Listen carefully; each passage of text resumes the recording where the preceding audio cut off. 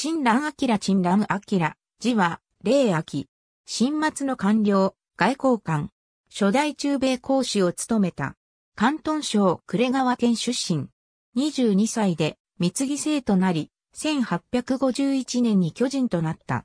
1853年に紳士となり、管理員に入り、初吉士となった。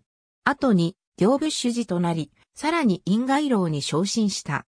1860年に帝友により帰郷し、その間、公文書院で講義し、祖国藩の幕府に入った。1863年、行部の職に復職した。その頃黄河が決壊したため、大名府に救援活動に赴き、千川数子と八巻を表した。その後、江南製造局と上海広報玄関の総裁に就任した。1870年に祖国藩の推薦でアメリカ留学生委員に任命され、1872年に副委員の姿とともに広報玄関卒業生の児童30名をアメリカ留学に送り出した。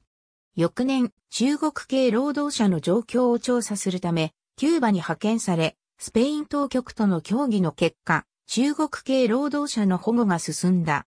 1878年、正式に中アメリカスペインペルー講師に任命され、1881年まで務めた。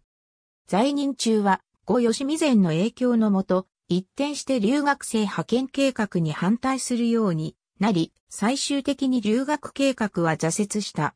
帰国後は、総理各国事務が問大臣、霊部左次郎となった。引退後は、再び公文書院で講義し、甲州府市、呉川県市、呉川風俗市、岩木県市など地方市の編纂にあたった。死後、文武氏の死号が送られた。ありがとうございます。